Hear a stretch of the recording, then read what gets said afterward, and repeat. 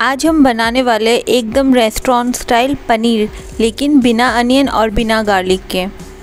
जी हाँ आज मैं बॉन्ग किचन में लाई हूँ एकदम प्योर वेजिटेरियन रेसिपी वीडियो को एंड तक ज़रूर देखिएगा और लाइक शेयर सब्सक्राइब करना ना भूलिएगा। चलिए फिर वीडियो स्टार्ट करते हैं।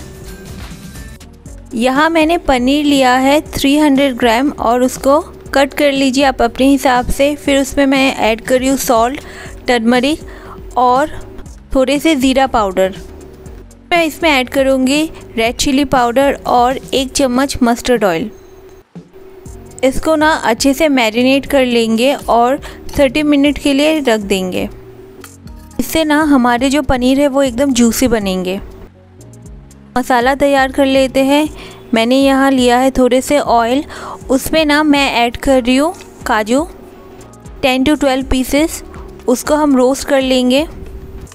काजू को ना बस थोड़े ही कलर आने तक पकाना है, फिर उसको हम निकाल लेंगे। यहाँ ले रहे हो एक चम्मच मगज। मगज को भी सेम वे में हम रोस्ट कर लेंगे। मगज को भी हमें थोड़े कलर आने तक ही भुनना है। ये हमारे मगज भुन गए हैं, इसको निकाल लेते हैं। फिर हम इसमें ले रहे हैं कद्दू। आप भी सोच रहे होंगे, ये पम्पकिन का क्या काम है पनीर की सब्ज़ी में। लेकिन ये जो पम्पकिन है ना, इसी का ही पूरा टेस्ट आने वाला है हमारे पनीर में।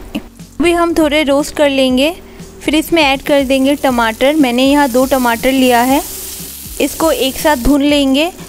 गैस का फ्लेम जो है ना, आप लो ही रखना। पम्पकिन को ना हमें सॉफ्ट कर लेना है। फिर मैं यहाँ ऐड कर रही हूँ ग्रीन चिली ग्रीन चिली ना आप अपने हिसाब से ऐड कीजिएगा। हमारे टमाटर और कद्दू अच्छे से भुन गए हैं। चलिए फिर इसको निकाल लेते हैं। इसका ना हम अभी फ़ाइन पेस्ट बना लेंगे। इसलिए मैं इसको ग्राइंडिंग जार में ऐड कर रही हूँ। साथ में मैंने काजू और मगज जो रोस्ट किया था, उसको भी ऐड कर रही हूँ और सब कुछ मिला के अच्छे से हम लोग इसका पेस्ट बना लेंगे।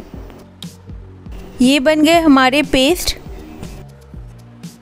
पनीर को हमने जो मैरिनेट करके रखा था ना थर्टी मिनट्स के लिए, उसको अभी हम शैलो फ्राई कर लेंगे।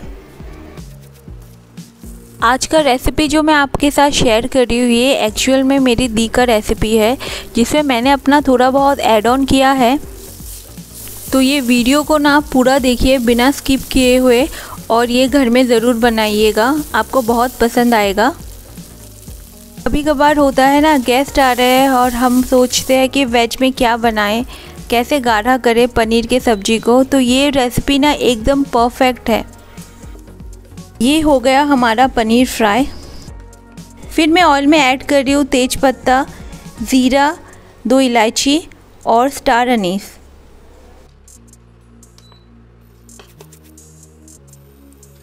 फिर इसमें ऐड कर देंगे ग्रेटेड जिंजर और ना इसको अच्छे से भून लेंगे। मसाले जो है हमारे भुन गए हैं, फिर मैं इसमें ऐड कर दूँगी टमाटो और कद्दू का जो पेस्ट है, वो। स्टीम ना आप लो टू मीडियम के बीच ही रखिए, नहीं तो मसाले जो है वो जल जाएँगे। कद्दू ना इसमें मीठा टेस्ट लाएगा, जो कि इस सब्ज़ी में बहुत ही अमेजिंग लगेगा। हमने इसको भून लिया है पाँच से सात मिनट तक। ये हमारे जो मसाले हैं वो रेडी हो गए हैं। फिर इसमें मैं ऐड कर रही हूँ पानी। पानी जो है ना, मैं यहाँ डेढ़ कप ऐड कर रही हूँ। आप दो कप भी ऐड कर सकते हैं। फिर ना चम्मच से इसको अच्छे से मिक्स कर लेंगे। थोड़ा बॉईल आने तक इसको हम पकाएँगे। फिर मैं इसमें ऐड कर रही हूँ पनीर।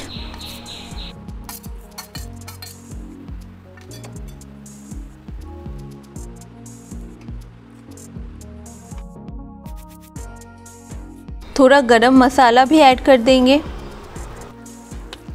फिर इसको हम पकाएँगे चार से पाँच मिनट तक। फिर हम इसको पका लेंगे तीन से चार मिनट तक। फिर थोड़ा धनिया ऐड कर देंगे। मैं यहाँ ना एक चम्मच घी भी ऐड कर रही हूँ। ये देखिए, ये गाढ़ा हो गया है ऑलमोस्ट फिर इसमें मैं ऐड कर रही हूँ नमक स्वाद अनुसार। फिर इसको थोड़ा और गाढ़ा कर लेंगे। तो आपने देखा, आप बिना प्याज से भी सब्ज़ी को गाढ़ा कर सकते हैं। और ये बनाने में जितना आसान है और खाने में उतना ही टेस्टी किसी को पता भी नहीं लगेगा ये बिना प्याज से है। रेसिपी घर में ज़रूर ट्राई करना। Thank you